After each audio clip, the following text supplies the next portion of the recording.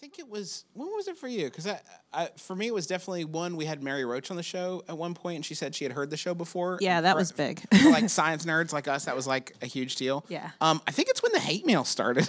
Honestly, when we started, You know you're doing it right. You know that's true because I didn't. Um, Justin kind of knew what we were doing in terms of downloads, but I don't. I didn't really ever pay attention to that, so I didn't. it's just about the art for Sydnee. She's not gonna get I hung up on numbers. I really love doing it, and if five people listened and loved it, I. I really felt like that was worth it. So it wasn't. It wasn't so much about how many people are listening, um, and people are positive and will let you know that. But man, when they don't like something you say, way more people let you know that. So I think that's true. Yeah, I don't know how often you all talk about fluoride on this show, but oh. please be very careful we Don't- deliberately don't a bring it up. pro fluoride message because No. people are very aggro about fluoride. That may have still. been the moment. Yeah. the yes, Fluoride. the fluoride, people- and I was like, people, wow, a lot of people are listening because they're so I mad. listen. I sat back and listened when you talked about drilling holes in people's heads and and drinking your own poop for scientific testing. But fluoride, come on, that's that's Bridge obviously too far. it's government poison. Yeah, I, uh, we take a lot of firm stances here on Build. We have been deliberately gray on fluoride for that very yeah, reason. excellent. That's That is, you don't want to mess with the fluoride You, camp. you have your safety to consider here. You can't